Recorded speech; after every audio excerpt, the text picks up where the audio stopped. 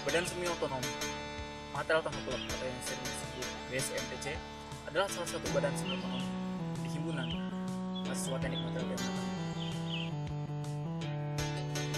BSMTC bergerak dalam bidang fasilitator dan pewadahan mahasiswa khususnya di teknik material untuk mengembangkan minat, wawasan, dan kemampuannya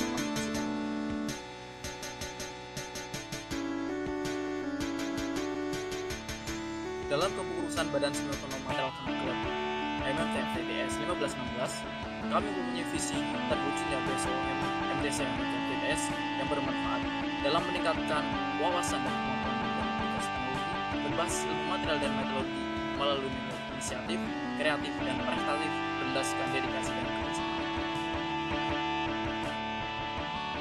Di dalam MTC terdapat tiga divisi dan satu unit. Divisi yang pertama yaitu divisi aplikatif.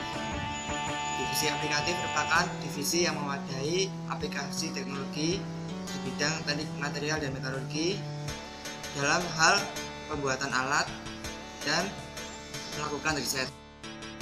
Kemudian yang kedua itu divisi event.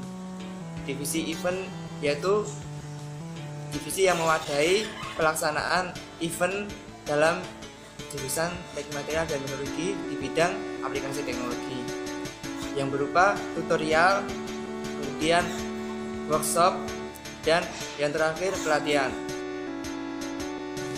Divisi keinformasian merupakan divisi yang mewadahi penginformasian kepada anggota himpunan mengenai kegiatan yang ada di MTC dan aplikasi teknologi yang ada di jurusan teknik material dan teknologi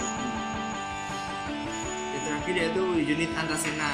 Unit yang memadai tentang pengerjaan mobil berupa hidrogen yaitu mobil antasena yang akan diikutkan di berbagai macam kompetisi.